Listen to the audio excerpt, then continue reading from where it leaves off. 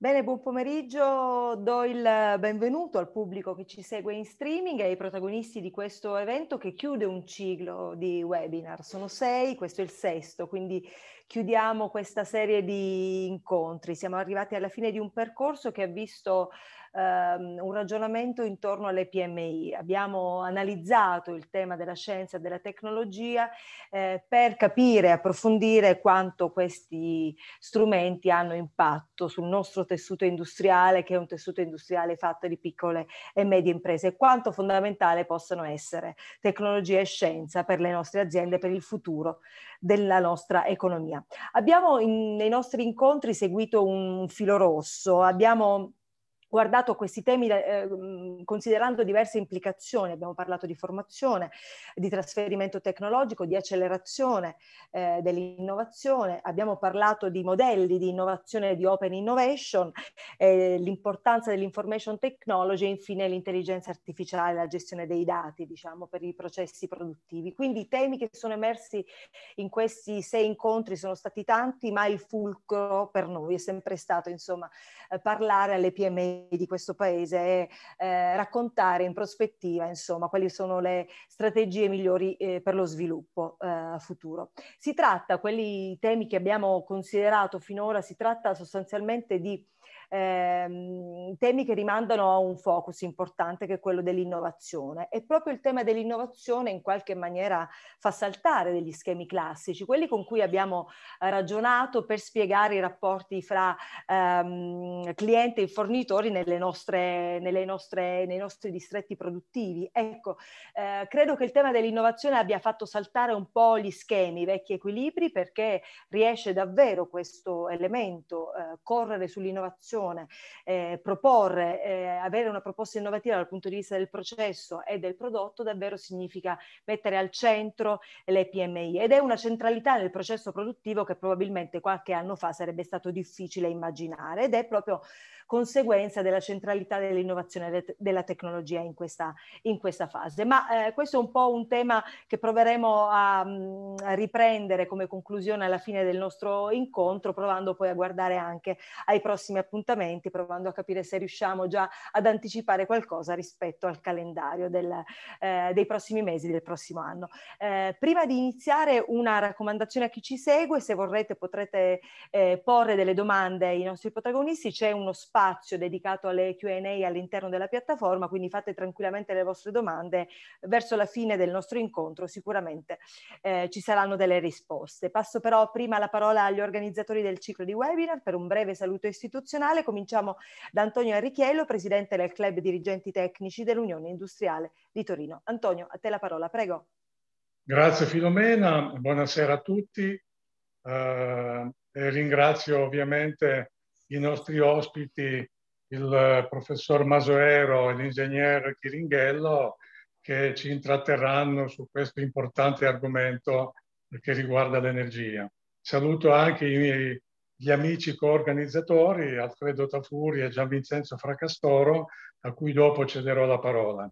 Due parole sul club dirigenti, è un'associazione che aggrega figure professionali di elevato livello tecnico-scientifico con eh, grandi competenze eh, che provengono da, dai settori industriali del nostro territorio, eh, quindi eh, l'automotive, l'aerospazio e il ferroviario, per citarne alcuni, e, e tutti i profili, diciamo così, eh, di, di, alto, eh, di, alto, di alta tecnologia in quanto abbiamo ingegneri, ricercatori, progettisti, tecnici un po', un po', a tutto campo.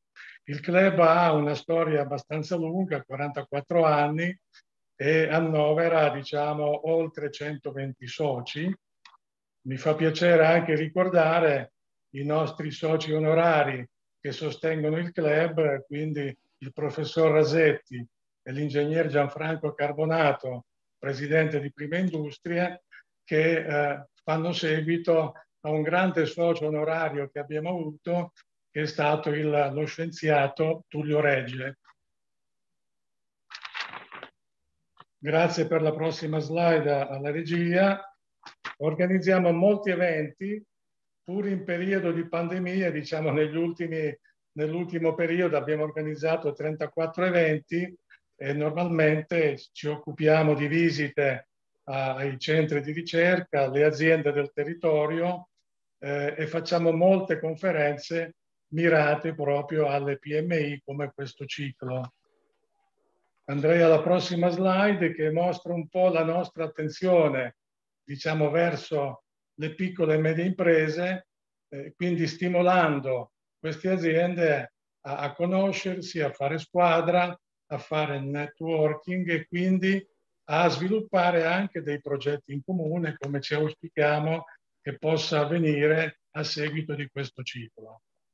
Andrei ancora all'ultima slide proprio per chiudere, eh, mostrando quelli che sono un po' i documenti che rappresentano il nostro club, il nostro libro del quarantennale e la rivista CDT Cockpit che eh, racconta un po' la storia corrente del club con molti articoli tecnico-scientifici su problemi di attualità.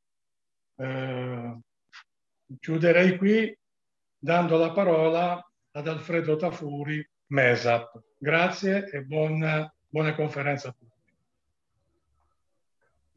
Grazie Antonio, grazie, buonasera a tutti anche da parte mia e grazie ancora, grazie ancora a tutti i partecipanti stasera, al professor Masoera e all'ingegner Ghiringhello. MESAP è uno dei poli del sistema dei poli di innovazione della regione Piemonte che è nato circa 11 anni fa, nel 2009, ed ha come soggetto gestore il centro servizi dell'Unione Industriale. Rappresenta la regione Piemonte cluster, nei cluster nazionali Fabbriche Intelligenti e cluster trasporti ed è stato cofinanziato con il, dalla regione con, il, mm, con l'IRDF 2007-2013, 2014-2020. La prossima, grazie.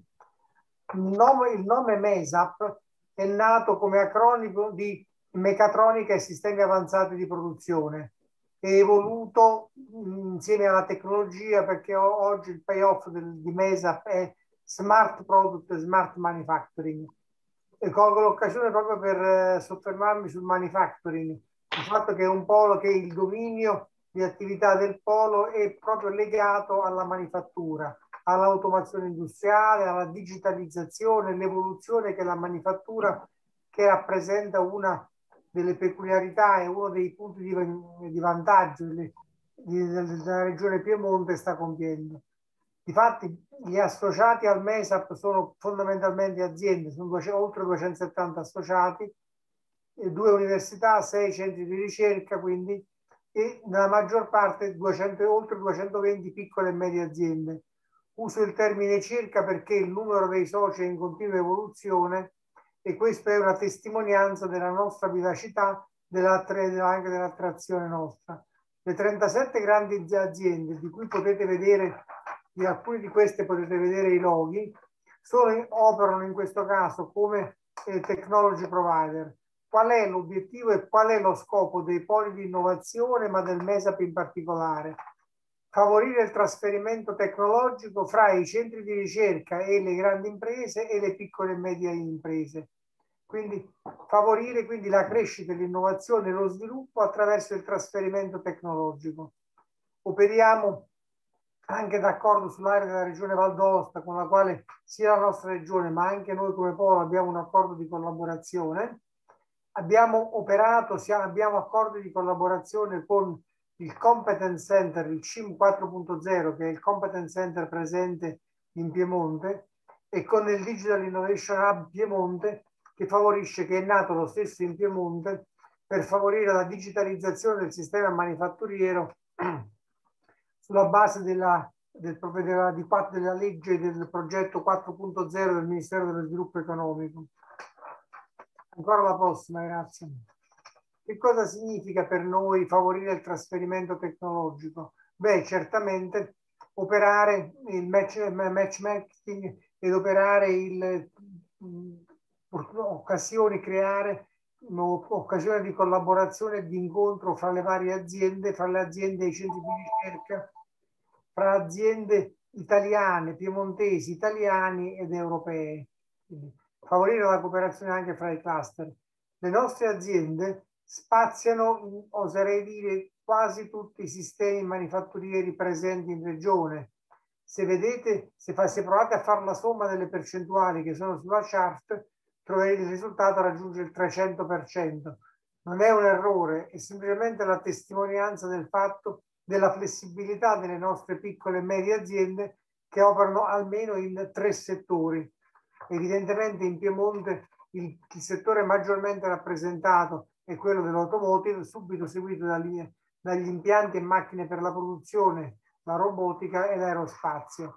Ancora dopo l'energia, non non li elenco tutti, ho citato solo questo, il ferroviario, perché sono quelli maggiormente presenti e maggiormente di impatto e nei quali le competenze e l'eccellenza tecnologica è sicuramente riconosciuta e apprezzata. Ancora la prossima, grazie. Lo sforzo che il MESAP sta facendo in questo momento, quindi per favorire il trasferimento tecnologico, è quello di aprirsi all'Europa. L'ha già fatto, lo già fanno le nostre aziende, ma noi operiamo favorendo, partecipando noi come MESAP a associazioni tecnologiche internazionali, vedete EFRA, EPOS e Silicon Europe Alliance, e partecipando a progetti europei, che significa per noi partecipare? Beh, significa favorire la partecipazione di nostre aziende a questi progetti e quindi favorire lo scambio e ampliare il loro, il loro orizzonte tecnologico e di innovazione a livello europeo. Con IoT for Industries abbiamo anche favorito il finanziamento di alcuni progetti innovativi presenti sempre a livello europeo. Questo è fondamentalmente il MESAP ancora la prossima, grazie. Questi sono gli, gli riferimenti per chi volesse contattarci ancora. Grazie ancora, saluto tutti e passo la parola al professor Fracastoro, Gian Vincenzo Fracastoro di SIAT. Grazie Alfredo e un saluto anche dalla SIAT e dal suo presidente che sono, che sono io, Gian Vincenzo Fracastoro. Adesso vi mostrerò brevemente alcune slide per eh, presentare l'ente che ho l'onore di presiedere. Vedete che la SIAT è stata fondata nel 1866 e tutte le volte che facciamo una presentazione come questa della nostra società, io ricordo che era solo un anno, era trascorso solo un anno dal, dal momento in cui Torino eh, non era più capitale d'Italia, il re se n'era andato a Firenze. Mi piace anche ricordare che eh, la SIAT è nata in un momento che poteva essere di grande come dire, disperazione per la perdita della capitale, ma che lo spirito che a quei tempi imperava era in realtà uno spirito molto diverso, ben testimoniato dalle parole del sindaco di allora, Emanuele Luserne dei Rolà, che diceva mi piace constatare che in presenza di un fatto simile, la partenza del re, la città, la popolazione non si sta inoperosa a piangere sui danni sofferti o temibili, già che sarebbe la morte della nostra città, ma si agita animosa e tende a sviluppare via più la sua vitalità con estendere la sfera dell'attività sua. Sarebbe bello che in un momento difficile come questo, in cui non il re, ma qualcosa di simile se n'è andato dalla città, la città avesse ancora questo spirito di eh, ricostruzione, di, di rivalsa. E la SIAT nasce un anno dopo, proprio cogliendo un po' questo spirito e con una missione molto precisa, favorire il confronto e la divulgazione nel campo delle discipline politecniche che così grande importanza hanno avuto negli anni che eh, seguivano eh, l'inizio della nuova avventura di Torino, non più come capitale, ma come capitale dell'industria in Italia e a livello europeo. Da allora, praticamente da, da un anno dopo, eh, abbiamo una rivista, Atti Rassegna Tecnica, che è una delle più antiche, credo, del mondo come rivista tecnica, che ci affianca analizzando con un approccio molto rigoroso, tecnico e scientifico le varie trasformazioni del territorio, piani regolatori, la città digitale, la città metropolitana, i giochi olimpici, l'alta velocità. Atti e Rassegna Tecnica una rivista open access, tutti i termini inglesi, ma eh, purtroppo bisogna usare quelli per essere comprensibili, peer reviewed e anche online dal dicembre 2017. Le nostre attività consuete, tradizionali, sono le visite guidate ai cantieri, i viaggi di istruzione, i corsi di aggiornamento per i professionisti, conferenze, seminari, oggi i webinar, una certa attività pubblicistica, per esempio le guide sugli itinerari di architettura a Torino, i concorsi di idee come Young, di cui parlerò fra un istante, e le app come architettura. Ecco, eh, scusate, sono andato nella direzione opposta.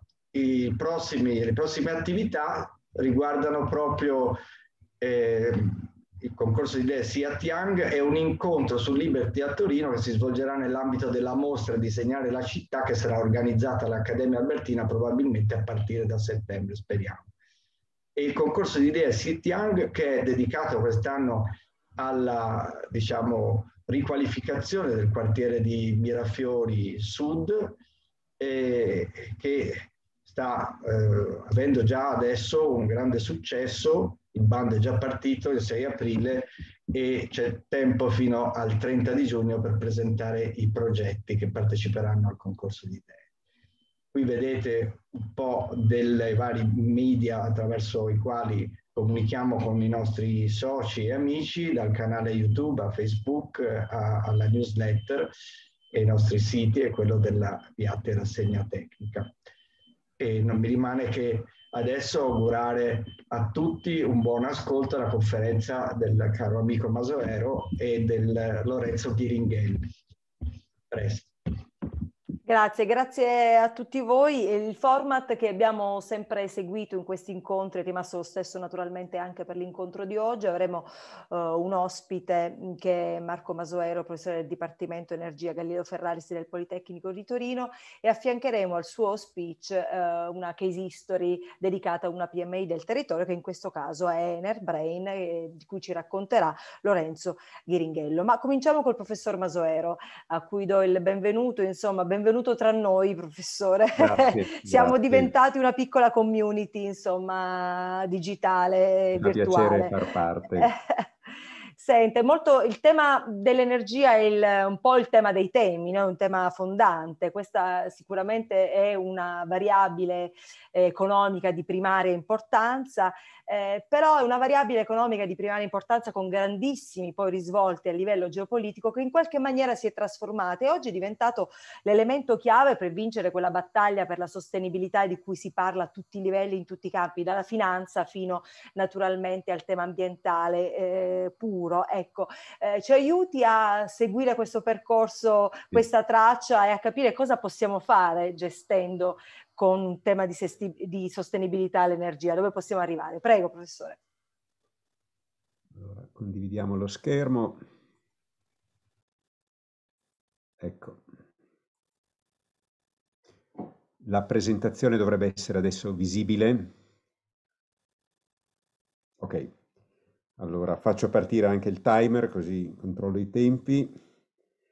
E quindi grazie dell'invito. E esordirei dicendo che eh, industria ed energia è un binomio inscindibile. Se pensiamo alla storia dell'industrializzazione negli ultimi due secoli ci rendiamo conto che la disponibilità di energia in forme diverse è stato il vero driver dell'evoluzione industriale, partendo dall'energia idraulica per passare poi al vapore, all'energia termica, fino alla rivoluzione elettrica alla fine dell'Ottocento. Ecco, questo è stato il vero motore dello sviluppo industriale. E possiamo dire che fino a una cinquantina di anni fa, fino all'inizio degli anni 70, l'energia è stata disponibile in abbondanza e a prezzi molto bassi. Questo ha evidentemente favorito lo sviluppo industriale. Poi, come le persone della mia generazione ben ricordano, eh, nell'autunno del 1973 tutto è cambiato. Ci fu la guerra dello Yom Kippur, il primo shock petrolifero e di colpo il mondo industrialmente sviluppato si è reso conto, primo, che la, la disponibilità di energia non era garantita, cioè c'erano fattori geopolitici che potevano mettere in crisi la, l'approvvigionamento energetico, e secondo, che non era affatto scontato che il prezzo dell'energia restasse così basso. C'è stato l'incremento del costo del petrolio che ricordiamo di notevolissimo. Quindi diciamo è iniziata una serie di azioni di, di contromisura nelle quali l'industria è stata molto pronta, direi fra i vari settori utilizzatori dell'energia probabilmente l'industria è stata la più rapida a, dire, a cercare di, di, adeguarsi. E in effetti poi negli anni Ottanta lo scenario si è molto tranquillizzato, i prezzi si sono livellati, è stato fatto un grosso sforzo per diversificare le fonti di approvvigionamento. Ecco, diciamo, l'energia è passata un po', in, se vogliamo, forse leggermente in secondo piano. E, ehm, è tornata prepotentemente all'ordine del giorno il tema dell'energia, come sappiamo, per le implicazioni climatiche. E fra l'altro mi fa molto piacere che proprio oggi che parliamo di energia e ambiente sia Earth Day, no? il giorno della, della Terra, e, ehm, e, ehm, e non solo, ma proprio ieri, notizia freschissima, il Parlamento e il Concilio delle, dell'Unione Europea hanno come dire, trovato un accordo per la nuova uh, European Climate Law, cioè la nuova legge sul, sul, sul, clima, nel quale evidentemente l'energia ha un ruolo centrale. L'obiettivo, il nuovo obiettivo che è stato uh, fissato è di ridurre del 55% eh, le emissioni rispetto al 1990 entro il 2030, mi pare. Insomma. Professore, la interrompo un attimo, chiedo scusa. Noi vediamo, non vediamo scorrere le sue slide, vediamo soltanto... Eh, siamo ancora perché sono fermo sulla prima. Benissimo, ancora. e allora è una preoccupazione, no, era una preoccupazione preventiva. Prego. Fatto bene, fatto bene a dirlo, ci arrivo fra un secondo. Ehm, quindi dicevo, è, è, veramente l'implicazione climatica che ha riportato l'energia al centro dell'attenzione. Eh, non solo, ma in, in, questi anni c'è un nuovo eh, elemento fondamentale che è entrato in gioco, cioè la possibilità, soprattutto per l'industria e non solo, di aumentare la quota di autoproduzione. Cioè 50 anni fa, a parte un po' di cogenerazione, sostanzialmente l'unica possibilità era comprare l'energia, comprare il gas, il petrolio, eh, comprare l'energia elettrica. Oggi ci sono possibilità di autoproduzione notevoli, anche se io non parlerò in questo mio intervento né di autoproduzione né di tariffe né di incentivi, ma mi, focal- mi focalizzerò, e qui arrivo alla, allo schema della presentazione sul, sull'efficienza energetica, perché voi sapete, insomma, nel dibattito de- energetico emerge chiaramente il fatto che qualsiasi tecnologia di produzione dell'energia ha qualche criticità, più o meno grande, eh, dal nucleare al petrolio alle, alle stesse rinnovabili. L'unico punto su cui direi tutti sono d'accordo è l'efficienza energetica, cioè usare bene l'energia senza sprechi, riducendo al massimo gli sprechi. Però su quello siamo tutti d'accordo e di qui eh, partiamo. Allora, la mia presentazione è divisa in tre parti, la prima molto veloce, qualche dato di contesto, e poi parleremo di come l'industria può affrontare l'efficienza energetica. Quindi il dato di partenza è che comunque l'industria è un eh, utilizzatore importante dell'energia, anzi a livello mondiale è il comparto pesa di più, circa il 37%. Questo non è vero in Italia, in Italia le, diciamo, il settore degli edifici pesa di più, per esempio, eh. però eh, il, la produzione di energia, l'utilizzazione di energia nell'industria continua a essere molto importante e in, soprattutto in certi settori impatta molto anche sui bilanci delle aziende, quindi per molti motivi è giusto che l'industria si ponga il problema di usare bene l'energia. Ehm, dal punto di vista dell'efficienza, le aree in cui si può intervenire, e questo lo vedremo nella mia presentazione, sono sostanzialmente di due tipi. Da un lato a livello di gestione, quindi energy management per usare il termine inglese, dall'altro a livello della scelta di tecnologie efficienti, quindi energy technology, se poi vedremo quali, quali sono. Ehm, ecco, qualche dato di contesto. Questi sono dati eh, a livello eh, globale, eh, distinguendo eh, paesi OECD e non OECD. Adesso non è il caso di entrare nei numeri come tali, però vorrei solo evidenziare due fattori. Uno, che c'è comunque la previsione di una crescita di eh, consumo di energia nell'industria proiezione al 2040 più marcata come ci si può aspettare per i paesi non, OECD, cioè quelli che hanno delle dinamiche di crescita industriale più marcate. Il secondo dato interessante è che comunque la previsione è che le fonti fossili derivate del petrolio, gas naturale e carbone continuano ad essere le fonti determinanti. La quota di rinnovabili eh, cresce, ma non appare ancora essere decisiva, anche se lo scenario sta cambiando rapidamente, soprattutto la Cina si sta impegnando molto. Ovviamente l'impatto dell'energia nello scenario industriale dipende molto dal, dal, settore merceologico. Ecco, è interessante vedere, questi sono dati di nuovo non, non recentissimi, ma comunque abbastanza rappresentativi, come ci siano cinque settori che da soli coprono più di due terzi del consumo globale, eh, che sono settore chimico, il siderurgico, i minerali non metallici, il cartario e i, i, i, i metalli non, non, ferrosi. Probabilmente sono comparti poco presenti nelle PMI del nostro territorio, ma questo, ripeto, non significa che non ci si debba comunque preoccupare del problema.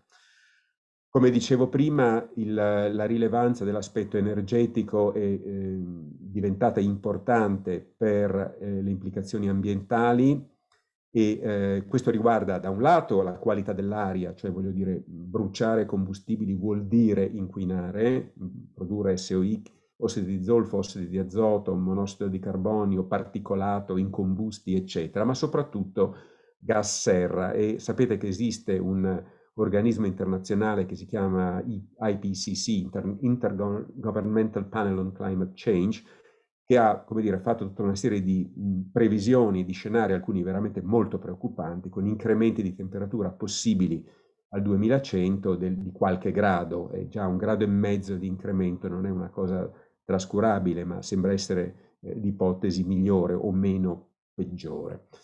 Allora, come dicevamo, eh, l'industria può eh, gestire bene l'energia e quindi vediamo come. Allora, partiamo dal energy management, dalla gestione. No?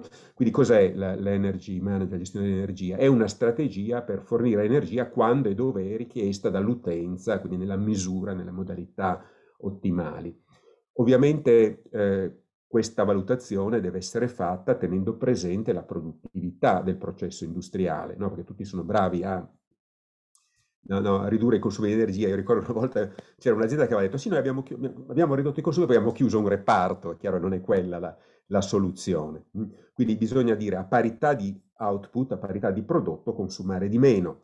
E nelle decisioni strategiche sarebbe importante che tutto il management dell'azienda fosse coinvolto e che anche nei rendiconti annuali nei bilanci insomma, che le, le aziende predispongano venisse data eh, come dire, evidenza degli investimenti, dei programmi e dei risultati.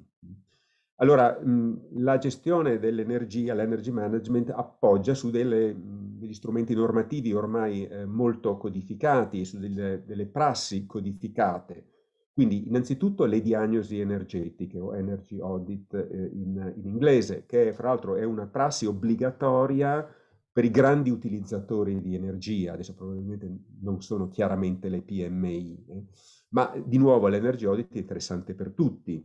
Mm, c'è poi la possibilità di mettere in piedi, e lo vedremo fra un attimo, un sistema di gestione dell'energia, Energy Management System, che si appoggia anche questo su normative internazionali, la EN 50001 ad esempio. C'è l'aspetto della formazione che è importante e infine c'è l'aspetto del, del, controllo e monitoraggio dei consumi. E su questo, diciamo, poi il, il, il nostro eh, ex allievo e brillante e giovane ingegnere Lorenzo Ghiringhello ci mostrerà delle, delle applicazioni. Mm. Adesso una, ci sono una serie di slide in inglese perché sono estratte da una norma internazionale, quindi non avrebbe avuto senso tradurle, no? Allora, una, un energy audit, una diagnosi energetica prevede tutta una serie di passaggi. Innanzitutto un'ispezione, andiamo a vedere cosa c'è nell'azienda e analizziamo i flussi di energia che vengono utilizzati.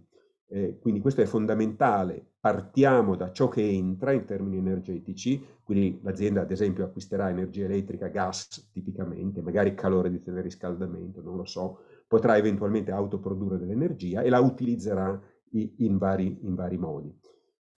Per poter pianificare una strategia di intervento eh, efficiente e sostenibile bisogna quindi innanzitutto identificare tutti questi flussi di, di energia e per quello, come vedremo, è, è fondamentale poter fare delle misure eh, affidabili. Mm.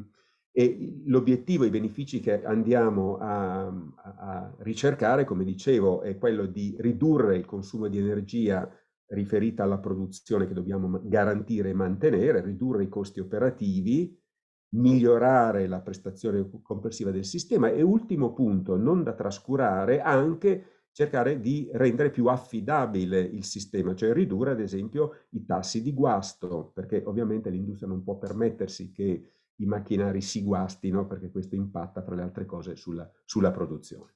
Quindi in sostanza un programma di edit- eh, Energy Audit segue una certa sequenza di operazioni, va innanzitutto costruito un team in cui eh, ci saranno degli esperti, so, tipo eh, il, l'energy manager dell'azienda o quelle figure professionali che si chiamano EGE, esperti di gestione dell'energia.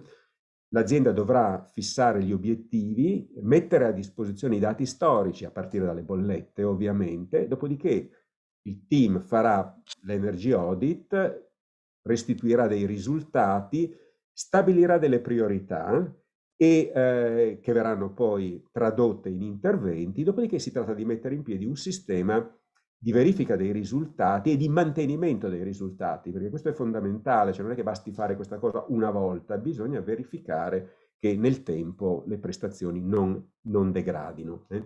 Quindi, ricapitolando, si tratta innanzitutto appunto di fare questa attenta analisi dei flussi di energia per tipologia di vettore energetico, per tipologia di utenza, analizzando gli andamenti temporali e così via. Eh, per poter trarre delle conclusioni è fondamentale definire i cosiddetti Energy Performance Indicators o indicatori di prestazione energetica, di cui vedremo fra poco alcuni, eh, alcuni esempi. Accanto all'aspetto tecnico c'è ovviamente l'aspetto finanziario, perché questi interventi avranno un costo, avranno un costo eh, a, cui, eh, a fronte del quale si avranno dei benefici, benefici di tipo energetico, ma magari benefici anche di tipo diverso dal, dal fatto energetico in senso stretto. Accennavo prima al miglioramento dell'affidabilità del sistema, è un esempio, oppure in generale all'efficienza del sistema produttivo. Sarà poi ovviamente il management dell'azienda a dover decidere dove andare a investire, anche sulla base di indicatori di ritorno economico, che sono quelli classici, diciamo, dell'ingegneria finanziaria.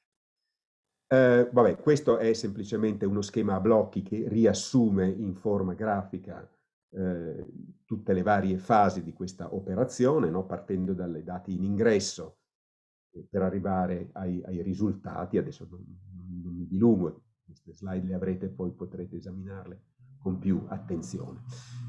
Fondamentale è il problema di presentare i risultati. Qui ci sono alcuni esempi. Si parte ad esempio dal costruire degli istogrammi che ci facciano vedere, ad esempio su base mensile, mese per mese, nell'esempio in alto a sinistra, l'istogramma ci fa vedere l'energia termica di processo, le barre azzurre, l'energia termica per il riscaldamento degli ambienti, le barre rosse ovviamente vanno a zero nella stagione calda, e l'energia elettrica che è più distribuita. A questi dati energetici si possono associare dei dati di costo, ovviamente funzione delle tariffe che l'azienda è riuscita a, a spuntare, quindi vediamo un altro, eh, un altro istogramma eh, di costi sul quale si può sovrapporre un andamento della produzione. Questa è chiaramente una correlazione interessante.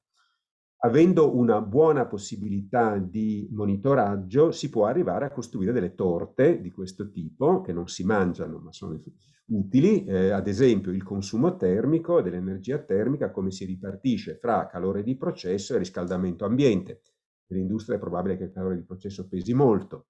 Eh, l'energia elettrica da chi viene utilizzata, eh, per esempio macchine come pompe e ventilatori di processo o di climatizzazione, l'aria compressa, molto importante, l'illuminazione, i processi dissipativi, i torri di raffreddamento, i motori elettrici che azionano tutti i vari macchinari. Ecco, questa disaggregazione è fondamentale e richiede ovviamente un monitoraggio. Molto interessante nella presentazione dei risultati è anche, come dire, fare delle analisi di, di, regressione, cioè prendiamo i nostri dati energetici su una certa base temporale, ad esempio mensile o giornaliera o settimanale, dipenderà dai casi, e andiamo a correlarli con delle variabili indipendenti, scusate. Ad esempio, correliamo energia elettrica consumata e produzione, l'esempio in alto, oppure correliamo eh, consumi di energia termica con dati eh, climatici, dati meteorologici, per esempio i gradi giorno che misurano quanto è freddo un dato periodo dell'anno. Qui, su questo l'amico Gianni Fracastoro ci potrebbe raccontare esperienze vecchie di decenni ma ancora validissime. Ecco, nel definire i, eh, gli energy performance indicators, ovviamente dobbiamo eh, mettere in gioco delle variabili correlate con eh, la consistenza della, del, dell'industria, ad esempio il fatturato, il numero di dipendenti, i volumi di produzione, eh, le dimensioni del complesso industriale, superficie di fabbricati e così via. Perché sono importanti questi energy performance indicators? Da un lato perché mi permettono di confrontare l'azienda X con aziende simili, concorrenti esistenti sul mercato. Cioè, come mi pongo io rispetto a aziende simili alle mie? Sono efficiente o no? In secondo luogo perché è proprio attraverso questi indicatori che io potrò fare un'analisi accurata del risultato delle azioni, confronto fra la situazione iniziale e quella dopo gli interventi esempi di Energy Performance Indicators, qui ce ne sono quattro, per esempio un consumo di energia elettrica specifica, quindi i kilowattora riferiti per esempio a tonnellate di prodotto. Per l'aria compressa un consumo elettrico riferito alla, ai volumi di aria compressa prodotti, eh, per i sistemi termici, di nuovo kilowattora termici riferiti alla produzione, invece per il riscaldamento ci riferiamo, normalizziamo rispetto al dato climatico. È ovvio, più fa freddo, più è fredda la stagione, più si consuma. Ecco, il sistema di gestione ehm, N50001, qui vado velocissimo, eh, è basato su uno schema che è molto noto da, tra gli addetti ai lavori, che si chiama Plan, Do, Check, Act. Quindi pianificare, e qui ci agganciamo a quanto vi ho detto pochi minuti fa, eh, quindi energy audit, baseline di riferimento, indicatori di prestazione energetica, eccetera. Do, la fase di do, in, cui si attuano, si implementano i, i programmi, le azioni di, di gestione dell'energia. La fase check, fondamentale, si fa la misura, la verifica dei risultati e infine act, le azioni che vanno messe in campo per continuare a migliorare e mantenere la prestazione. Quindi a livello grafico, ecco, c'è una sorta di cerchio che segue le varie fasi, ecco, poi si può essere più dettagliati, questo è, un, è una rappresentazione che entra più nei dettagli, adesso non abbiamo ovviamente il tempo di, di parlarne, ma potrete poi avendo la, presentazione studiarvela con un po' più di attenzione. E passiamo adesso a esaminare invece diciamo, dopo aver delineato il percorso metodologico di energy management, a, par- a, parlare di tecnologie. Io ne ho identificate sei, che sono fra le più importanti. Ecco, non parlerò qui di interventi sull'involucro edilizio, cioè isola- isolamento termico degli edifici, non ne parlo. Non parlerò di interventi specifici sugli impianti di condizionamento o riscaldamento. Mi focalizzo più sulle cose, gli aspetti legati alla, alla produzione. Allora, io dico sempre che fra i clear winners, no, fra, le, fra, le, tecnologie che hanno veramente sfondato in questi ultimi anni in molti ambiti, ci sono gli azionamenti a, a velocità variabile, il variable speed drives, cioè l'idea che io possa regolare con sistemi di elettronica di potenza in modo molto preciso la velocità, i parametri operativi di un motore elettrico, quindi la velocità, la coppia, la potenza meccanica in uscita, eccetera, è veramente stata una grande una grande innovazione dal punto di vista funzionale ed energetico. Un esempio tipico è la regolazione delle portate di acqua o di aria, no? Quindi la soluzione, come dicono gli americani, quick and dirty, quella brutale, è strozzare. Io strozzo, introduco una resistenza, riduco eh, la portata, ma mi cresce la pressione richiesta e alla fine non risparmio energia o ne risparmio poco. Se invece agisco sulla velocità di rotazione della pompa o del ventilatore, riesco dire, ad accoppiare in modo ottimale il risultato eh, richiesto con la spesa, la spesa, energetica. Poi come funziona eh, diciamo, il cuore del sistema è il cosiddetto inverter. Io parto da, una, eh, incom, da, un, da un, ingresso in, in, alternata, per esempio un trifase alternato, devo rettificare, trasformare questa corrente alternata in, in continua, dopodiché l'inverter rimodula l'energia, eh, l'energia elettrica, insomma il segnale elettrico diciamo di potenza, dando la frequenza esattamente richiesta. Quindi diciamo che il sistema prevede quindi eh, un, un, un, azionamento, un regolatore che attraverso queste tecnologie mi piloterà il motore elettrico. Quindi qui queste sono immagini di un'applicazione, come tante altre, eh, dei, dei ventilatori a portata variabile azionati dal sistema che vedete ha come cuore proprio l'inverter, cioè questo apparato che realizza la regolazione della, della, eh, della frequenza del, di alimentazione del motore. I risultati in termini energetici sono notevoli.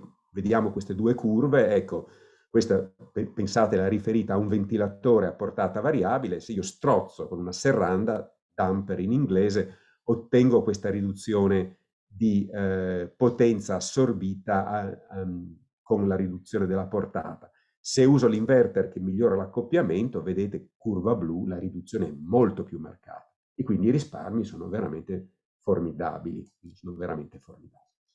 La cosa interessante è che queste tecnologie si applicano a una grande varietà di applicazioni. Ho citato pompe e ventilatori, ovviamente le unità di trattamento aria degli impianti di ventilazione e condizionamento, gli stessi compressori, i chiller che producono acqua refrigerata o le pompe di calore che producono acqua calda, i sistemi dissipativi come le torri di raffreddamento, regolazioni varie. Associato a questo tema viene naturale dire c'è l'aspetto dei motori elettrici. Ecco, interessante eh, analizzare il costo del ciclo di vita di un motore elettrico, perché il costo di ciclo di vita di un motore elettrico è quasi tutto un costo energetico, diciamo il 92%. La manutenzione è poca cosa, il motore elettrico è molto affidabile e lo stesso costo iniziale di acquisto e installazione pesa poco, quindi capite quanto è importante magari spendere qualcosina in più, ma puntare a un motore efficiente. Quindi non stupisce che l'IEC, l'International Electrotechnical Commission, cioè l'organismo internazionale di normazione in campo elettrico, abbia definito delle classi di efficienza dei motori. Eh, queste classi di efficienza dei motori sono, sono quattro, diciamo, si parte dalla, dalla, dall'efficienza standard, diciamo quella base, fino ad arrivare a una super premium, no? quattro, tre livelli eh, più in su. Consumo di energia del ventilatore ovviamente dipende dalla potenza, dipende dalle ore di funzionamento, da un fattore di carico e da un rendimento, quindi su quello bisogna lavorare sul rendimento e vedete cosa dice la normativa internazionale, ecco, in funzione della potenza prodotta, qui si va da 120 eh, watt fino a un megawatt, eh, quali sono i range di efficienza da raggiungere per le varie classi di efficienza per una determinata tipologia di motore a corrente alternata. Co- a livello tecnico come si ottengono questi risultati? Beh, agendo su tutta una serie di aspetti progettuali, quindi innanzitutto sulla scelta dei materiali, per esempio gli acciai,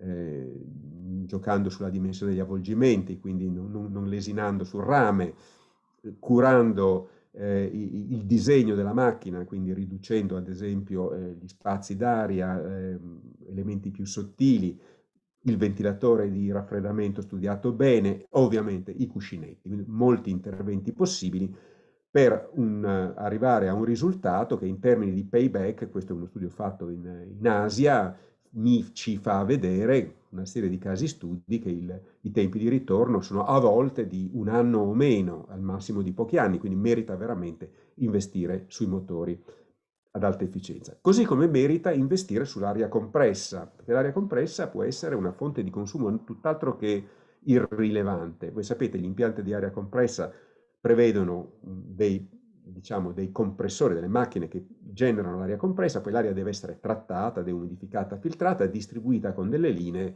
e alla fine utilizzata per azionare attrezzi oppure macchinari o, o per fare movimentazioni.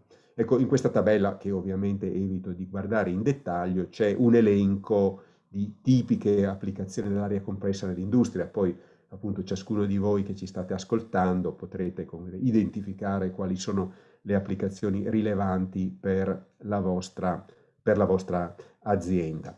La tecnologia dell'aria compressa è evoluta eh, negli anni, oggi diciamo la soluzione probabilmente più performante sono i compressori rotativi a vite, che fra l'altro si usano anche nella refrigerazione, e come vi dicevo eh, l'utilizzazione poi dell'aria compressa è sia nell'azionamento di attrezzature o di diciamo, processi di lavorazione sia nella movimentazione dei prodotti, quindi anche qui ci sono parecchie applicazioni eh, possibili. Ci sono molte azioni che si possono intraprendere per migliorare l'efficienza energetica di un impianto ad aria compressa, a partire dai motori, come dicevamo prima, eh, ad alta efficienza eh, o la sostituzione dei compressori, agire sulla pressione dimandata dell'impianto. È chiaro, se io posso ridurre la pressione garantendo comunque il risultato finale, questo mi comporterà sicuramente una riduzione dei consumi.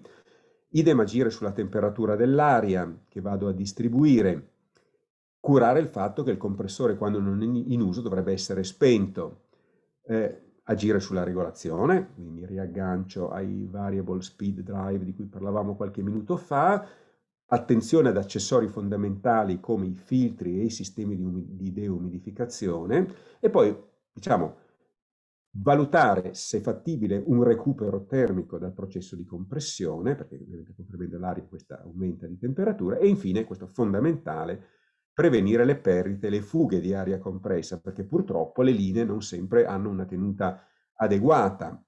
E se si va a analizzare il problema, si vede che le fughe possono derivare da moltissimi elementi della rete che qui sono eh, elencati e diciamo studi mirati dicono che anche il 20-30% della quantità di aria prodotta può essere persa per strada.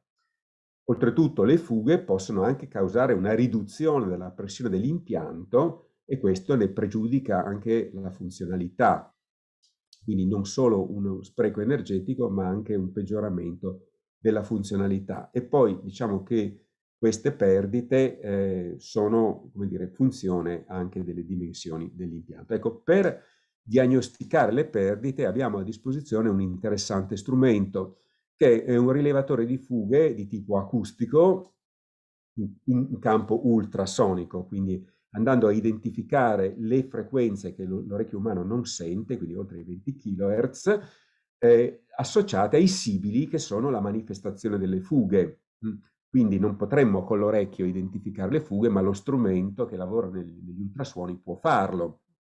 E Oltretutto, eh, siccome lavora su un range di frequenza che è diverso dal range acustico tipico, non c'è problema a fare le diagnosi anche in un ambiente molto rumoroso, perché la rumorosità che noi percepiamo negli ambienti industriali è ovviamente nella gamma udibile, non negli ultrasuoni. Quindi è interessante questa possibilità eh, diagnostica.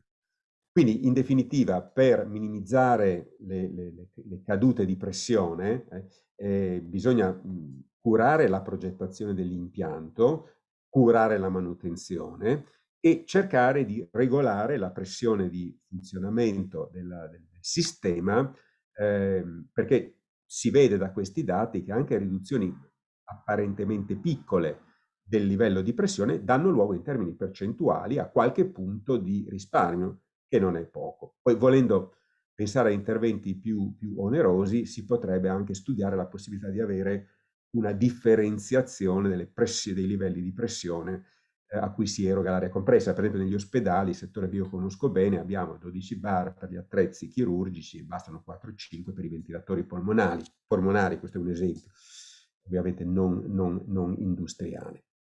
Veniamo adesso all'illuminazione. Anche l'illuminazione è una fonte importante di consumo e possiamo pensare di ridurre il consumo di illuminazione artificiale con tutta una serie di possibili interventi che qui sono elencati e adesso li vediamo uno per uno. Sono gli, ele gli elementi, gli, le azioni, scusate, gli interventi che l'esperienza ci dice essere normalmente convenienti dal punto di vista economico, cost effective, come, come si dice in inglese. Eh, la prima cosa da fare ovviamente è cercare di eh, usare delle, delle sorgenti luminose efficienti e ormai tutti sanno che diciamo the name of the game, di nuovo come direbbero gli americani, no? cioè, la parola d'ordine LED. No? I LED sono entrati nel mercato già da diversi anni e si sono progressivamente affermati. La forza del LED è che il LED è da un lato molto efficiente, ha una vita utile molto lunga, fino a 60.000 ore, quindi batte qualunque altro tipo di lampada, però a manutenzione ridotta, ridotto consumo, però ci sono anche alcune criticità, cioè non è detto che il LED risolva ogni problema, vada bene per qualunque tipo di applicazione, quindi va ovviamente studiata eh, caso per caso l'applicazione delle, delle, luci LED. Um, la regolazione dell'illuminazione è un altro aspetto molto importante, questo se volete si ricorda un po' l'aspetto dei variable speed drive no, degli inverter. Cioè, l'idea è l'illuminazione dovrei artificiale metterla in gioco quando mi serve veramente. Quindi quando non c'è luce naturale sufficiente e quando serve perché gli spazi sono occupati o i processi industriali lo richiedono. Quindi al di là di fatto di intervenire manualmente, già solo avere, come dire, delle linee con interruttori suddivisi per poter spegnere anche manualmente in modo selettivo vari gruppi di corpi illuminanti è già un risultato, mm. ma se lo faccio con un sistema automatico i risultati sono sicuramente migliori. Ecco, accennavo prima al fatto che la, sostitu- la sostituzione delle, delle, fonti luminose non significa necessariamente LED, anche i vecchi sistemi a vapore di mercurio, lampade a vapore di mercurio o fluorescenti, possono essere sostituite con lampade migliori, più efficienti, per esempio quelle ad alogenuri metallici che fanno una luce molto bianca, molto di alta qualità, dove la resa cromatica è un fattore critico. Se non c'è un problema di resa cromatica, anche i vapori di sodio ad alta pressione che fanno quella luce un po' giallognola eh, vanno bene perché sono effettivamente molto, molto efficienti. Sapete che le lampade a scarica devono essere regolate da un ballast, da un reattore, e quindi se ci sono ancora i vecchi reattori magnetici, la prima cosa da fare è eliminarle e sostituirli con quelli a, allo stato solido, che sono estremamente più, più efficienti. Un altro aspetto interessante è la distribuzione dell'illuminamento, no, dei lux, sul, sull'area, sul piano di lavoro, sull'area che deve essere illuminata. È chiaro che se io ho a disposizione un sistema di illuminazione generale con corpi illuminanti distribuiti, darò dei lux omogenei dappertutto. Non è detto che questa sia la soluzione migliore, magari io potrei modulare i livelli di illuminamento a seconda delle esigenze specifiche di ogni, di ogni area.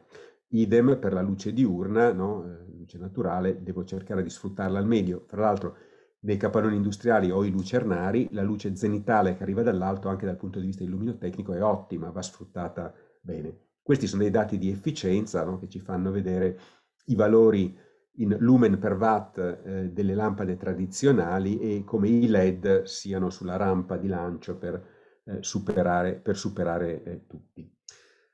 Passiamo adesso alle ultime due applicazioni, il recupero del, del calore di scarto. Allora, nell'industria eh, si butta via spesso nei processi produttivi un sacco di calore, sotto forma di fumi caldi, prodotti di combustioni, prodotti che escono caldi dal ciclo di lavoro, che devono essere, di lavorazione devono essere raffreddati e cose di questo genere. Allora, si può pensare di recuperarlo questo calore. Non è facile, perché il secondo principio della termodinamica, come sappiamo, pone un sacco di vincoli abbastanza eh, impegnativi. Però si può provare, queste tabelle danno una serie di esempi, anche qui no, non mi dilungo, però io posso pensare di recuperare calore per preriscaldare l'aria comburente o preriscaldare la, l'acqua di alimento di un, di un generatore di vapore, oppure eventualmente anche in certi casi per produrre del vapore con cui produrre dell'energia elettrica o usarlo a livello di processo e così via. Qui ci sono una serie di immagini su cui non mi dilungo, di tipici apparati, apparecchi per recupero termico, di scambiatori di calore di vario tipo, economizzatori. Un altro discorso molto interessante è quello delle pompe di calore, che meriterebbe ovviamente un seminario dedicato, cioè produrre acqua calda anziché bruciando combustibile con una macchina elettrica che valorizza il calore gratuito presente nell'ambiente.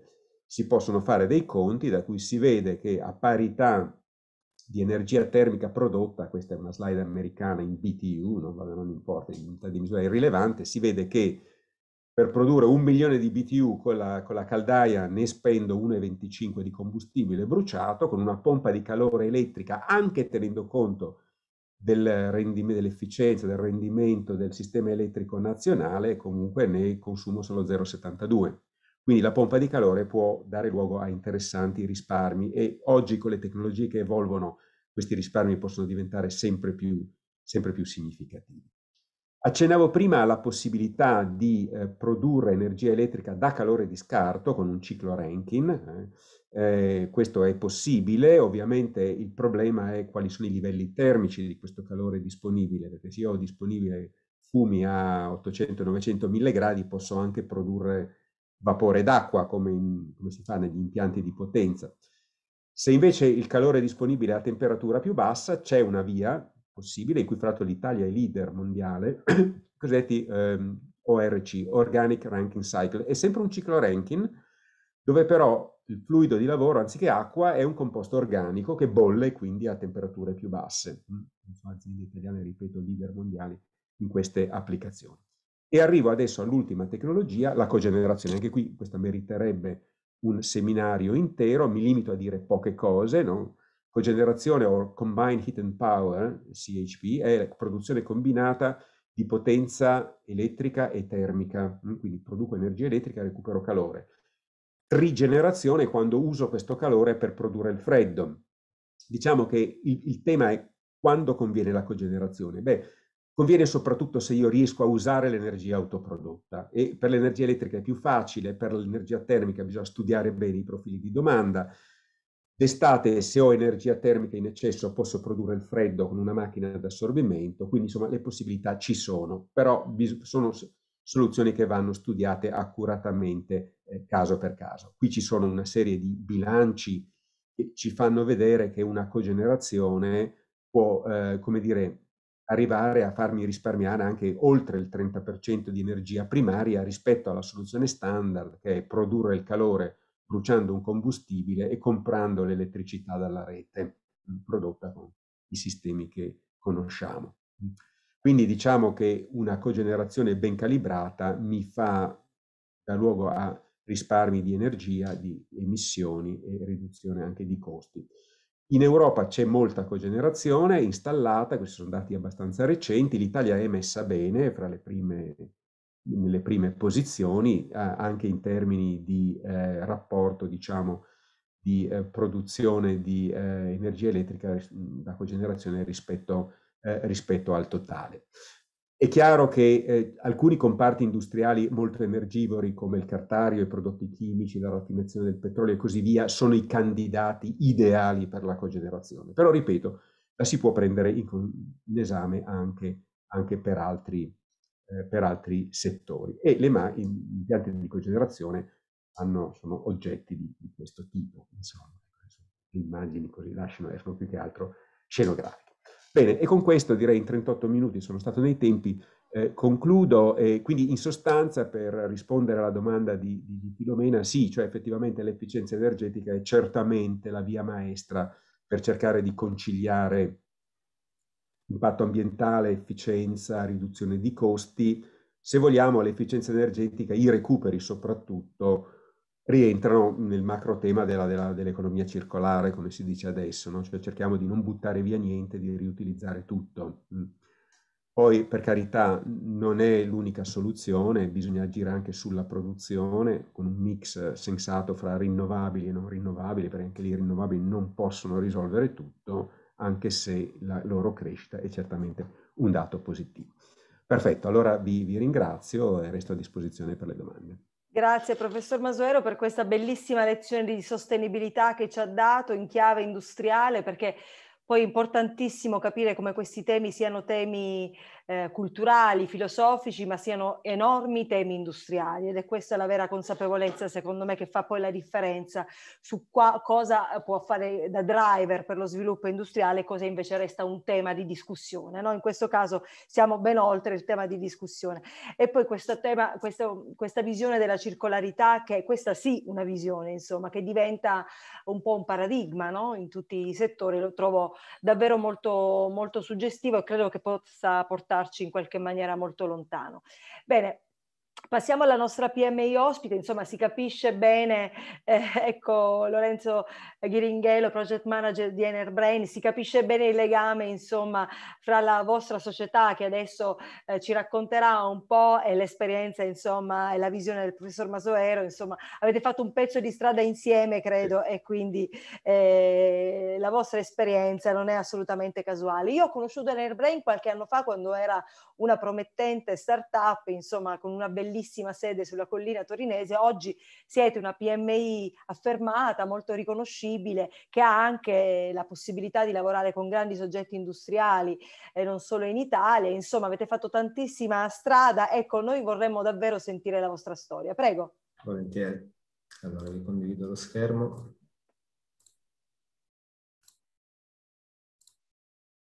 E appunto come ringrazio intanto Filomena, ehm, come anticipato Enerbrain è una società che è nata come startup nel 2015 dall'intuizione dei quattro fondatori grazie al patrocinio dell'incubatore del Politecnico di Torino. E da allora diciamo, ne è passata un po' di strada, infatti siamo diventati più di 50 dipendenti, la nostra è una PMI innovativa e ad oggi gestiamo qualcosa come 400 edifici su 13 mercati differenti. Cosa, cosa fa Enerbrain? Io oggi vi presenterò mh, diciamo due casi studio, eh, faccio una breve introduzione solo per chi non conoscesse la società. La, eh, Enerbrain sostanzialmente è una società che si occupa di efficientamento energetico degli impianti di climatizzazione principalmente. Um, il sistema è un sistema eh, IoT, quindi è un sistema diciamo ba basato su componenti IoT e che integra logiche di intelligenza artificiale in cloud è composto da ehm, sistemi hardware e software, quindi come potete vedere da questa slide esemplificativa ci sono mh, normalmente dei, dei, componenti hardware che sono sensori, misuratori e eh, controllori presenti in campo che sono tutti, eh, appunto, sono tutti wireless. Questi eh, componenti vanno eh, inviano i dati al cloud che elabora le informazioni, le mette a disposizione dell'utente attraverso la piattaforma web e va a eh, gestire, a regolare eh, i, i, controllori presenti in campo a, mantenendo la logica di regolazione a livello di cloud. Quindi Enerbrain sostanzialmente è un sistema che coniuga due anime, da una parte il monitoraggio e dall'altro il controllo. Monitoraggio è indispensabile per andare sia a fare regolazione che andare a fare efficienza energetica e controllo di conseguenza. Il nostro sistema può essere quindi inquadrato come un BEMS, quindi un sistema di un sistema MS, quindi un Energy Management System, quindi un sistema che permette all'utente di monitorare e andare a eh, gestire quelli che sono i vettori energetici e un sistema BAX, quindi un sistema di eh, building automation e controllo, in particolare nel nostro caso degli impianti di climatizzazione. I casi studio che vi porto oggi sono due casi studio di installazioni su grandi eh, player industriali, diciamo, nel settore dell'automotive. Da una parte c'è eh, lo stabilimento FCA di Verrone, sul quale abbiamo effettuato le installazioni in collaborazione con Edison, dall'altra c'è lo stabilimento Michelin di Spinetta Marengo ad Alessandria. Ehm, per quanto riguarda lo stabilimento di Verrone, il, la sfida, quindi la richiesta del cliente è stata quella di andare a fare un sistema di ottimizzazione, quindi un sistema di efficientamento energetico su quello che era l'impianto di climatizzazione esistente, senza andare ad aggiungere nessuna periferica hardware, quindi mantenendo quanto più possibile il sistema esistente, riducendo al contempo i costi. La soluzione proposta è stata una soluzione che noi denominiamo Enerbrain as a Service, comunque as a Service, che consiste sostanzialmente nell'andare appunto a mantenere tutti quelli che sono i controllori esistenti, quindi le CPU esistenti vengono mantenute, il BMS esistente viene mantenuto, quindi il sistema di supervisione non viene modificato, viene, viene mantenuto. A questo si aggancia un nostro componente hardware che è sostanzialmente un gateway di comunicazione che va a gestire quella che è la comunicazione tra il BMS esistente, quindi tra il campo esistente e il sistema cloud, andando ad agire sui principali parametri che permettono poi l'ottimizzazione del sistema nel suo complesso. In questo stabilimento in particolare noi abbiamo integrato 21 unità di trattamento aria, 17 deviatori, 10 destratificatori, gestendo in cloud più di 600 variabili. I risultati sono stati, come potete vedere, eh, molto soddisfacenti perché c'è stato un aumento dell'efficienza energetica con un risparmio di energia termica ed elettrica molto importante che ha permesso un ritorno dell'investimento effettuato dal, dal, cliente inferiore ai due anni, quindi un sistema che si è ripagato in tempi brevi. L'altro caso studio è invece un'installazione che eh, abbiamo fatto sul sito Michelin di Alessandria, le, qua la sfida era ancora un po' più complessa, nel senso che ehm, insieme alla diciamo, all'ottimizzazione degli impianti di climatizzazione ci è stato richiesto di creare un sistema di monitoraggio energetico, quindi un sistema integrato di monitoraggio energetico ambientale e di controllo degli impianti di climatizzazione che permettesse da una parte di ridurre i consumi energetici, quindi il footprint ambientale dello stabilimento, dall'altra che fosse ovviamente economicamente sostenibile, nonostante tutti sappiamo che è sempre difficile andare a giustificare un investimento su un sistema di monitoraggio energetico. Il, la soluzione è stata diciamo una soluzione di nuovo ovviamente basata su strumenti IoT, quindi eh, siamo andati a creare una, una, rete di misuratori, sensori e controllori eh, gestiti con, eh, attraverso data logger e eh, controllori locali, quindi ogni, ehm, ogni unità integrata sostanzialmente ha la sua intelligenza, la sua memoria a bordo, tutti i sistemi poi sono stati messi in comunicazione attraverso gateway o antenne al sistema cloud che fa sostanzialmente da concentratore e permette l'ottimizzazione. Il tutto si è esteso sul, sul, su tutto il sito, quindi sui 500.000 metri quadrati che compongono il sito, integrando 15 cabine elettriche e 19 eh, locali tecnici per un totale di più di 120 misuratori tra eh, misuratori di energia elettrica, metano, acqua e eh, sei unità di trattamento aria di grandi dimensioni, nel senso che le sei unità di trattamento aria elaborano più di 600.000 metri cubi ora.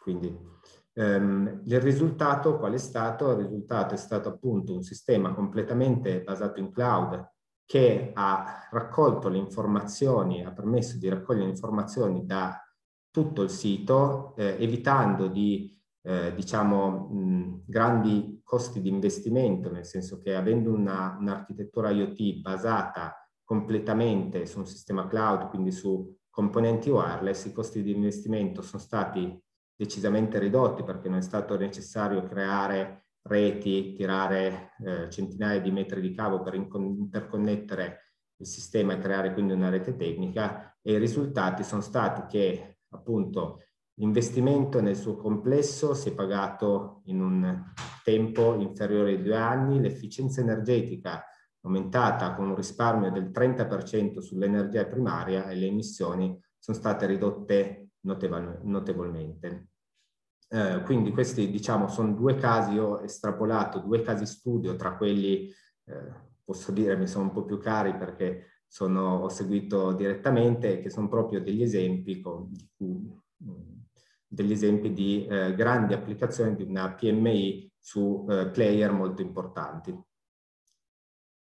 Vi, vi ringrazio, se avete domande sono a disposizione. Grazie, grazie Lorenzo Ghiringhello per la chiarezza del suo esempio. Insomma, eh, lo avete visto, è un esempio concreto di PMI che eh, davvero può dare un contributo fondamentale per eh, grandi aziende. C'era qualcuno dal pubblico che ci chiedeva la possibilità di condividere questo materiale, ma credo che dalla regia abbiano già risposto della possibilità di condividere, ah, eh, ha fatto il professor Masoero benissimo. Volevo Quindi... dire solo una cosa sul materiale quando Perfetto, e così poi eh, mentre le faccio una domanda poi ci dice anche eh, questo, ci aggiunge anche questo elemento. Um, eh, avviandoci verso questo sesto incontro, ehm, abbiamo provato a capire se potessimo in qualche maniera trarre delle conclusioni dal percorso che abbiamo fatto. Lo faremo magari eh, tra un attimo. Io prima volevo fare eh, una domanda al professor Masoero e poi anche una domanda a Ghiringhello. Allora, professor Masoero, mm, lei ce l'ha detto molto chiaramente, il tema dell'efficienza energetica è il primo eh, il, il, il, primo test per la sostenibilità, eh, rendere efficienti i processi, eh, le, diciamo, i, i, grandi impianti diciamo, di produzione energetica e di distribuzione dell'energia attraverso insomma, gli esempi che ci ha spiegato. Eh, ecco, il tema dell'elettricità, della rivoluzione eh, dell'elettrico, Noi, io mi occupo spesso di automotive, eh, in quel settore lì, che è un'industria matura per eccellenza, insomma, la rivoluzione elettrica è in corso, è in pieno corso corso. Forse mh, per certi versi, se guardiamo il mercato, siamo alle fasi iniziali, ma sicuramente è una rivoluzione in corso. Ecco, quest- il secolo che vivremo sarà il secolo in cui eh, tutte le grandi industrie si piegheranno alla forza dell'elettronica, sarà questa la trasformazione industriale che, a cui assisteremo e quindi il tema energetico sarà più importante di quanto lo sia stato ancora più che in passato. Insomma. Beh, sì, sì, allora io, io credo sicuramente, allora, mh, diverse considerazioni che si possono fare. Allora, eh, adesso mi sposto un secondo dalla, dall'industria in senso stretto, parliamo per esempio di climatizzazione, che comunque interessa anche l'industria, no? Cioè è, è un dato di fatto Prendiamo la pompa di calore per produrre, la pompa di calore ad azionamento elettrico. Io quando ho iniziato a occuparmi di energia facendo la tesi di laurea nel lontano 1977, ho sentito parlare per la prima volta di pompa di calore, poi per decenni se ne è parlato ma non si vedevano applicazioni. Poi a un certo punto, negli ultimi dieci anni, il mercato è esploso. Oggi eh, nessun edificio del terziario importante nasce con caldaie Torino poi ha la situazione particolare del teleriscaldamento, però oggi tutti gli edifici importanti del terziario, pensiamo a Torino Torre Intesa San Paolo, pensiamo alla sede della città metropolitana, anche lo sciagurato grattacielo della regione che speriamo finiscano fra non molto, hanno, sono tutte, tutti edifici che hanno macchine a pompa, climatizzazione a pompa di calore. Quindi certamente l'elettrico sta vincendo come sta vincendo nel, nel, nell'automotive e, e, direi che nessuno rimpiange di tornare indietro alle caldaie, che per carità sono, in, in, per certe applicazioni continueranno ad esserci, eh, perché se devo produrre vapore di processo è difficile farlo con una pompa di calore. Eh, quindi sicuramente eh, molte utenze saranno sempre di più gestite con energia elettrica, questo secondo me sicuramente. L'aspetto IoT eh, o IT, Information Technology, eccetera, eh, diventa fondamentale per regolazioni, controlli, monitoraggi, eccetera.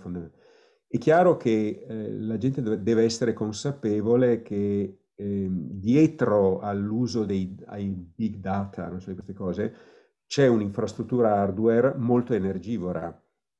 Cioè non è che manipolare fantastigliardi, per citare uno delle mie pilastri sto- culturali di base, no? che, che, è ovviamente Topolino, no? Fant- fantastigliardi. Io dico sempre che io la mia cultura poggia su tre, ba- eh, tre basi molto solide, che sono Topolino, quattro ruote e le figurine panini.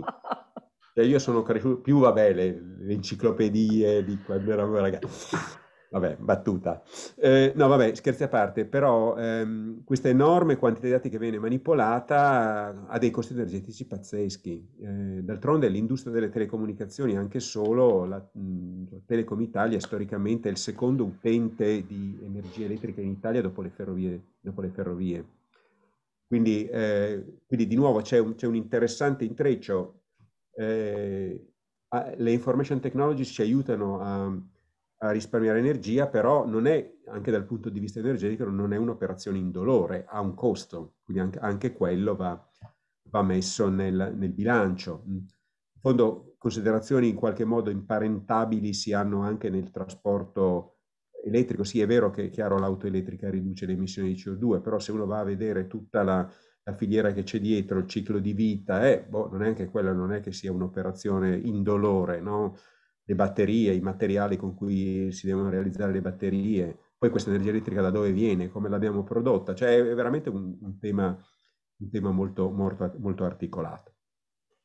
Grazie, grazie professor Masero. Posso dire solo... Sì, no, prego, aggiunga. Lo, l'avrei dovuto fare prima, ma mi è passato di mente. Io devo ringraziare, allora la presentazione che vi ho fatto vedere ehm, è solo in piccola parte farina del mio sacco, nel senso che ho utilizzato del materiale che mi ha fornito un nostro giovane e brillante collega che è Armando Portoraro, che è un nostro docente, anche se eh, lui adesso ha lasciato il Politecnico perché lavora in una società del, del, settore, quindi ringrazio Armando perché io avevo preparato del materiale, ma poi quello che mi ha dato lui era talmente bello che io l'ho adattato. Ma...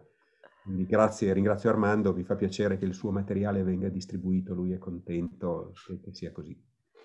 Bene, grazie, grazie professore. Lei ci conferma che in fondo questo tema, questo grandissimo rebus dell'energia è tanto un tema da, da ingegneri quanto un tema da filosofi, no? Per andare sì. a capire poi eh, qual è l'impatto eh, totale. Questo mi rende felice perché io non sono un tecnico, ma sono una, come dire, amante delle, e laureata in materie eh, umanistiche, però, eh, però colgo eh, grandissime visioni nei vostri discorsi, quindi questo mi mh, mm, rincuora molto. Allora, Ghiringhella, un sacco di domande, Ghiringhello, un sacco di domande per lei.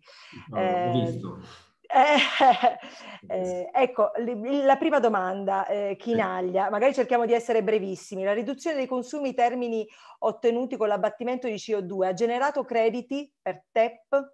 No, in questo caso, nel, nei due casi proposti, non sono stati presentati certific- la richiesta di certificati bianchi. Eh, diciamo che su questo tipo di interventi non è sempre facile dimostrare poi il risparmio conseguito in maniera eh, così univoca, nel senso che non è come sostituire una lampadina che si passa da 100 a... Ok, è, un, è un'ottimizzazione più complessa da valutare. Eh, la seconda domanda, state pensando la transizione al 5G per una risposta più veloce dove necessaria? È ancora una questione di costi o ancora non è pronto per i servizi da voi offerti, sia tecnicamente che economicamente, dunque il paradigma del 5G? Allora, diciamo che a livello di, di connettività noi sfruttiamo non solo la, la, connettività, diciamo, mobile, ma anche servizi più IoT, dedicati all'IoT per un'ottimizzazione dei costi che non so se adesso conoscono comunque tecnologie come LoRa e Sigfox. Dal punto di vista del 5G attualmente noi utilizziamo tecnologie 4G, ci stiamo preparando per diciamo, il passaggio, però non abbiamo ancora eh, diciamo, trovato il, il giusto sistema e quindi il giusto appoggio della tecnologia. Un'altra domanda, avete progetti in corso? Questa è una domanda che faceva anche eh, Tafuri, credo. Eh, avete progetti in corso rivolti alle, PMI per l'automazione di processo e risparmio energetico? Cioè vostro, la vostra proposta è una proposta che raggiunge e può essere appetibile anche per le PMI o è un tipo di intervento adatto soprattutto per le grandi aree industriali, no, i grandi essere, stabilimenti? Mm. È un tipo di intervento sicuramente adatto anche alle PMI eh, più orientato e più focalizzato non tanto sull'automazione di processo, quindi non tanto a livello di produzione, quanto a livello appunto è più focalizzato agli impianti di climatizzazione che il nostro core business. Ok, eh, l'ultima domanda, mm, credo che possano rispondere sia Ghiringhello che il professor Masoero. Desidero sapere, ci chiede Gallicchio, se secondo voi può essere realizzata anche in questa tipologia di impianti la manutenzione predittiva, in quanto una nostra azienda può fornire questo tipo di prestazione le sue relative pubblicazioni. Si può fare dunque la manutenzione predittiva, questo, questa nuova visione di, eh, di, linee di produzione smart che siano in grado di eh, testare la propria salute e segnalare eventuali problemi?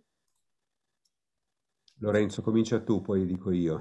Allora, sì, sicuramente io parlo per la nostra esperienza, spesso ci, ci capita di scontrarci diciamo, con questa tematica, sicuramente una tematica che noi stiamo cercando di approfondire e di integrare all'interno del nostro sistema anche con sistemi complessi di allarmistica eh, per diciamo, prevenire i problemi, ad esempio conoscendo a priori i consumi, ad esempio conosco oggi i consumi del domani e quindi riesco ad andare a prevedere quale sarà il trend di utilizzo magari del, dello stabilimento piuttosto che il consumo energetico a livello di, ehm, a livello di impianti di climatizzazione.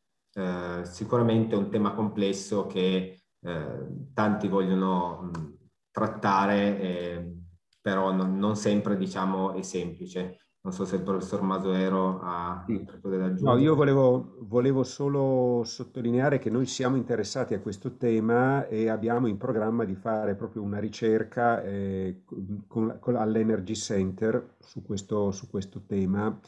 E io sono alla ricerca di un tesista che, che voglia cimentarsi. un appello. Ne avevo trovato uno che poi però ci ha mollati perché ha trovato un argomento che gli interessava di più, però ecco adesso eh, ci arriveremo, ecco, però è chiaro mh, il punto di partenza è avere la disponibilità di, di banche dati ben strutturate, tipo quelle che Nerbrain realizza, e di lì si tratta poi di... Eh, come dire, di eh, mettere in piedi un meccanismo di, di manutenzione predittiva. È chiaro che se ci fosse con noi un'azienda che che ha competenze specifiche sull'innovazione predittiva sarebbe ottimo, perché allora lì veramente mettiamo chiudiamo il cerchio, quindi ottima domanda, ottimo suggerimento. sono tempo. disponibili, le dicono che sono disponibili, quindi incontratevi, Perfetto. insomma, una bella connessione bene, diretta bene. questa chi, che... Chi abbiamo generato. Io non ho scritto nella presentazione una mia mail, ma le nostre mail del Politecnico sono tutte nome.cognome, quindi marco.masoero.polito.it. Entro domattina una mail così ah, l'argomento è fresco.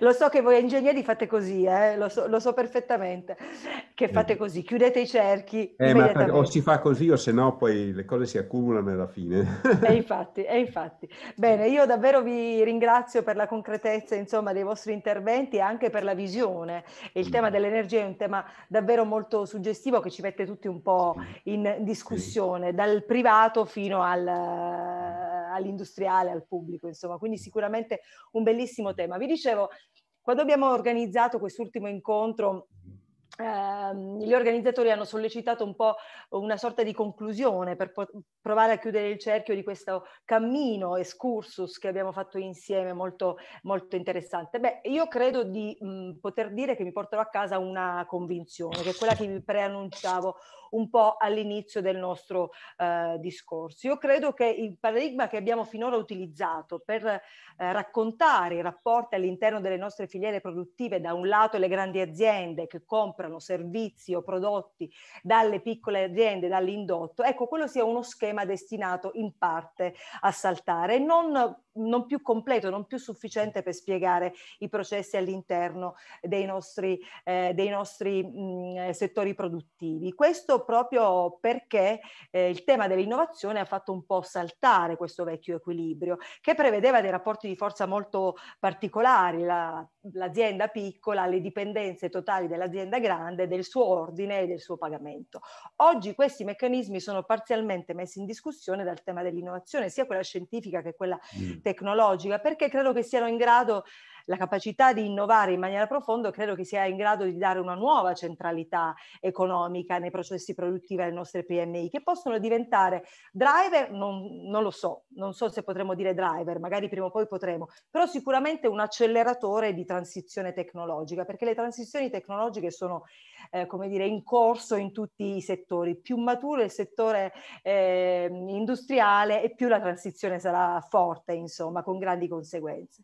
Non è un caso come ci ha raccontato il rettore Saracco all'inizio, nel primo incontro, che il mondo dell'accademia questo eh, filo, diciamo, l'ha un po' um, visto, l'ha un po' intercettato, lo ha accolto, tanto che ha messo in campo una uh, proposta formativa con uh, la manifattura, con il corso di, di laurea per la manifattura, proprio di ingegneri che siano in grado di intercettare questo fabbisogno e questa capacità di innovazione delle PMI. E non è un caso, come ci ha raccontato invece la Pucci, per esempio, per le OGR Tech, che sempre più spesso le aziende grandi vadano a caccia nelle, eh, nel mondo degli incubatori di start-up che possano accelerare loro, la loro capacità di innovazione, perché le aziende grandi sono aziende strutturate spesso mm. non hanno una cantina simbolica dove poter fare l'innovazione. Allora serve la start-up, serve un modello di open innovation e spesso quelli sono i luoghi ideali dove poterlo trovare. Non è neanche un caso, eh, come abbiamo raccontato, insomma, con Pisino, eh, della nascita dei competence center di tutta Italia sono degli straordinari contenitori di innovazione dove le PMI possono accelerare la loro proposta innovativa e dove le grandi imprese possono davvero affacciarsi per scoprire qualcosa di nuovo. Concludo ricordando il professor Rasetti che ci ha un po' illuminati, no? raccontandoci di quanto la scienza stia vivendo un periodo di grazia eh, in questa fase e vorrei ricordare anche Curioni per IBM Europe che ci ha illustrato un esempio straordinario, incredibile di come il calcolo, la capacità eh, di manipolare una grandissima quantità di dati possa davvero accelerare l'innovazione in un campo per esempio come quello dei nuovi materiali, dei materiali innovativi, insomma semplicemente gestendo in maniera scientifica eh, dei dati, incrociando insomma questi dati. Ecco, io credo che questi siano gli strumenti che potranno rendere le nostre PMI eh, sempre più forti e sempre più centrali nei processi, diciamo, di innovazione dell'industria. Quindi questo è il, il, tema che eh, porterò a casa, diciamo, da questi webinar che mi avete dato l'onore, insomma, di condividere con, con, con, voi. Io ringrazio i protagonisti di questo appuntamento. Prima di salutarci, però, vorrei passare velocemente la parola a Tafuri, a Fracastore e a Richello, perché ci dovete dire quando ci vediamo e che facciamo l'anno prossimo. Dateci qualche eh, spunto, qualche anticipazione. I giornalisti sono così, vogliono sempre l'anticipazione solo per loro. Sì, comincio io, Antonio Richiello, CDT. Intanto devo ringraziare naturalmente eh, Filomena Greco. Grazie Filomena perché sei stato un catalizzatore centrale eh, per questi sei eventi e questa sintesi che hai fatto ben raccoglie, diciamo così, eh, i significati e l'importanza di questo ciclo che, che abbiamo organizzato. Ne approfitto per ringraziare anche gli amici di SIAT e, MESAP che hanno condiviso con noi questa esperienza. Eh, io posso dire come CDT che intendiamo replicare un ciclo, diciamo, similare a questo eh, per l'anno prossimo. Speriamo di farlo in presenza, naturalmente, eh, e quindi con, con maggiore, con, uh, maggiore capacità di di toccare anche un po' più con mano le cose, eh, interagendo con, con l'uditorio. Insomma, sappiamo qual è la differenza tra uh, una conferenza, un convegno in presenza eh, eh, rispetto a, a, quello in remoto. Eh, quindi, diciamo, il CDT eh, sta già cominciando a mettere giù qualche idea e mi piacerebbe che questa idea eh, fosse condivisa anche appunto da MESAP e SIAT perché abbiamo eh, operato bene insieme e penso che possa essere replicata l'esperienza per l'anno prossimo e, e, quindi io mi permetto di prenotare già una persona come Filomena Greco per aiutarci in questo percorso che andremo a, a organizzare. Grazie Filomena, grazie a tutti. Mi unisco, mi unisco ai ringraziamenti di Antonio Richiello per Filomena, per l'ottimo lavoro veramente interessante, anche e soprattutto di riassunto. Il fatto di aver velocemente ricordato tutti i temi, sicuramente di aver ricordato il contributo delle piccole aziende che abbiamo invitato per dimostrare, per testimoniare come il contributo della ricerca, della scienza, sia accademica sia delle grosse aziende possa essere con vantaggio trasferito sulle piccole aziende è una cosa di grandissima soddisfazione, soprattutto per il MESAP che ha questo come compito istituzionale. Sicuramente ancora ringrazio Antonio per la sfida che ci ha lanciato di riproporre qualcosa di analogo per il prossimo anno e poiché tutti quanti ci auguriamo che possa essere fatto in presenza, ci auguriamo anche di poter raccogliere l'invito che qualcuno delle nostre aziende ha fatto di ospitare fisicamente qualcuno di questi eventi presso in alcune aziende proprio per, per consentire di vedere e di toccare l'azienda e la fabbrica e la manifattura. Ringrazio ancora il professor Masoera e l'ingegner Ghiringhello e ringrazio tutti i partecipanti e ancora una volta Antonio e Gianvincenzo mm, per la collaborazione. Grazie. Forse devo dire anch'io due parole, se posso, se ehm, è rimasto ancora qualche secondo e sono molto contento di come è andato questo ciclo di conferenze e ehm, sono diciamo molto grato ad Antonio Richiello per avere con perseveranza portato a termine questo progetto, ad Alfredo per averci appoggiato e, come dire, anche in qualche modo coinvolto Filomena Greca, che è stata veramente una, una gran, bravissima conduttrice, si è trovata a suo agio in tutti i campi che abbiamo esaminato. E sono contento che abbiamo terminato con un tema dell'energia che come diceva Filomena è un tema che ci tocca tutti, privati cittadini, industrie e istituzioni, sul quale c'è ancora tanto, tanto lavoro da fare. È un tema affascinante, io ho insegnato in questo settore eh, per tanti anni, è un tema affascinante proprio perché è diciamo in continuo cambiamento. Non si finisce mai di studiare e Lorenzo credo che mm, sarà testimone, non si può sedersi sugli allori di quello che si è imparato pure in una grande scuola come il Politecnico di Torino, bisogna continuare a tenersi aggiornati. E questo è una delle cose più divertenti che può succedere nel proprio lavoro, non è una disgrazia. quindi grazie ancora a tutti e lascio la parola a Filomena per la chiusura. Grazie, volevo, solo... scusami, Prego. Filomena, solo un attimo, volevo solo ricordare che tutti gli atti del convegno, quindi sia le presentazioni, saranno disponibili eh, sui siti di eh, CDT, eh, SIAT e MESAP. Quindi non, non, preoccupatevi per il materiale, tutto il materiale disponibile sarà reso disponibile. E non è detto che non ci venga in mente qualcosa di più strutturato. Chi ci ha aiutato a organizzare tutto l'evento con l'aspetto tecnico e colgo l'occasione per ringraziarlo, probabilmente ci darà l'aiuto anche in questo. Bene, grazie Alfredo, hai fatto bene a ricordarlo. A me toccano solo i saluti, vi ringrazio ancora per aver condiviso i vostri percorsi con tutti noi e allora a presto, buon lavoro a tutti e alla prossima. Arrivederci. Grazie, arrivederci. A tutti. A presto.